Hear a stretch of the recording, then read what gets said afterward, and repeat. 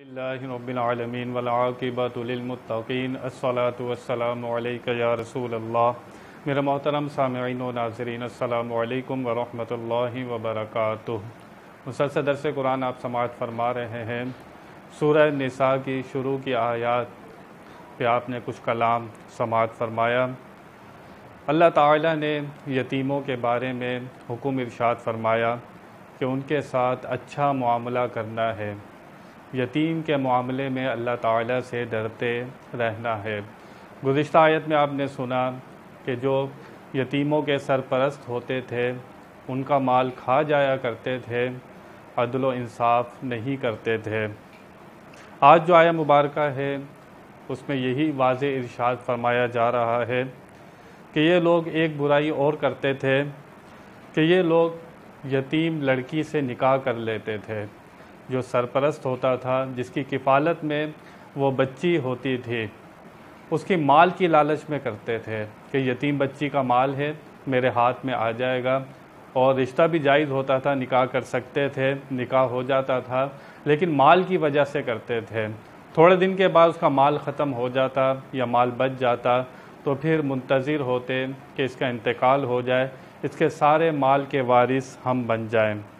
اللہ تعالیٰ نے اس برائی کا ذکر فرمایا کہ جو لوگ یہ کرتے تھے، ان کو اس کام سے منع فرمایا۔ فرمائی من خف تم اللہ تقصدو فی الیتامہ پھر اگر تمہیں ڈر ہو کہ تم انصاف نہیں کر سکو گے یتیموں کے بارے میں، یتیم لڑکیوں کے بارے میں، تم نکاح کرتے ہو لیکن ان کے ساتھ عدل نہیں کرتے۔ مال کی لالچ میں ان سے نکاح کرتے ہو تو ایسا نہیں کرو، کیونکہ وہ تمہیں پسند تو ہوتی نہیں ہے۔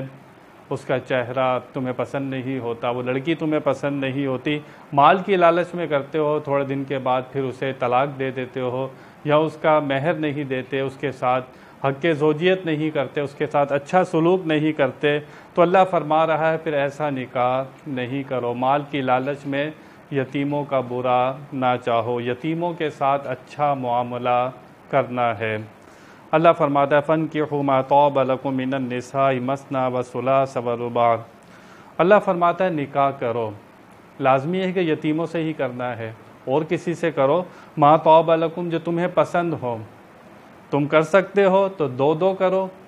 یا تین تین کرو یا چار چار کرو۔ اللہ تعالیٰ نے یہاں پر اجازت دی ہے، حکم نہیں ہے کہ تم نے دو نکاح کرنے ہیں، تین کرنے ہیں۔ یہ حکم نہیں ہے، یہ اجازت ہے۔ آگے اس کا بیان آ رہا ہے۔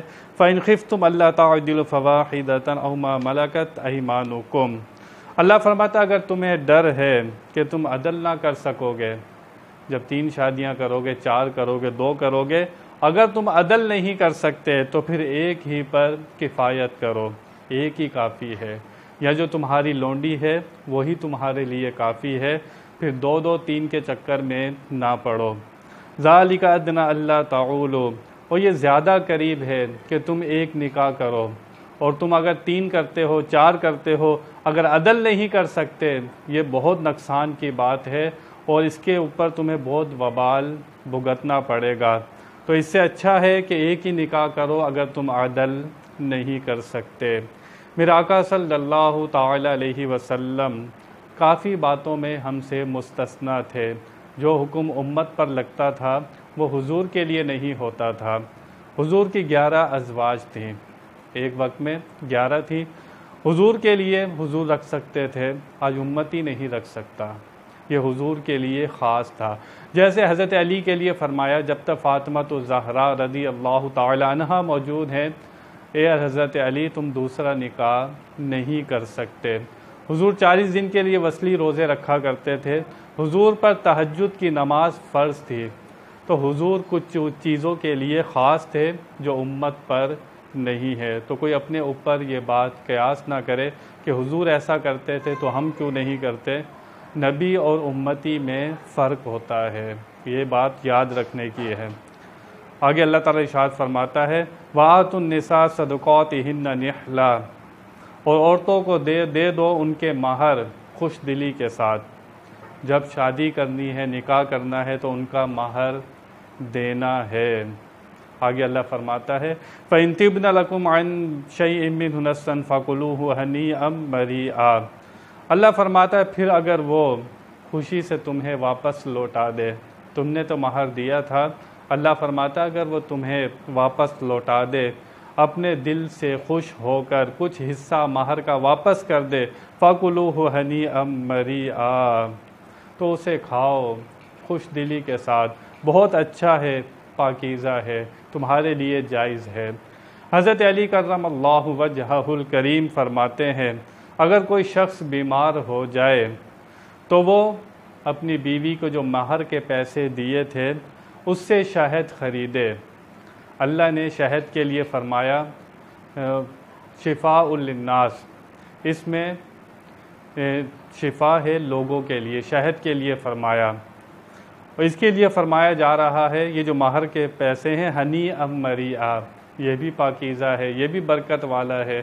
بارش کے لیے، پانی کے لیے فرمایا کہ وہ پانی برکت والا ہے۔ تو حضرت علی فرماتے ہیں کہ ماہر کے پیسوں سے شہد خریدے شہد میں بارش کا پانی ملا کر استعمال کرے انشاءاللہ۔ جیسی بھی بیماری ہو، اللہ تعالی شفا عطا فرمائے گا۔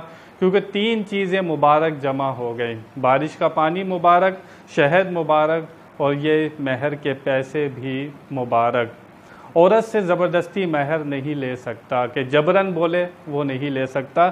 اللہ فرما رہا ہے کہ خوش دلی سے اگر وہ عورت واپس کرنا چاہے تو کر سکتی ہے۔ اللہ تعالیٰ نے یہاں پر واضح طور پر یتیموں کے بارے میں پھر رشاد فرمایا کہ یتیموں سے اچھا سلوک کرنا ہے۔ آپ محبت سے یتیم کے سر پر ہاتھ پھیر دیتے ہیں۔ جتنے بال آپ کے ہاتھ کے نیچے آتے ہیں، اتنی نیکیاں آپ کو ملتی ہیں۔ تو اللہ تعالیٰ سے ڈرتے رہنا ہے یتیموں کے بارے میں۔ اور نکاح کرنے ہیں، دو دو، تین تین، چار چار۔ یہ اجازت ہے، حکم نہیں ہے۔ اگر تم انصاف نہیں کر سکتے، تو ایک ہی نکاح تمہارے لیے کافی ہے۔ اللہ تعالیٰ سے دعا ہے کہ وہ ہمیں صحیح معنی میں دین کی سمجھ عطا فرمائے۔ واخر دعوانا ان الحمد للہ رب العالمین۔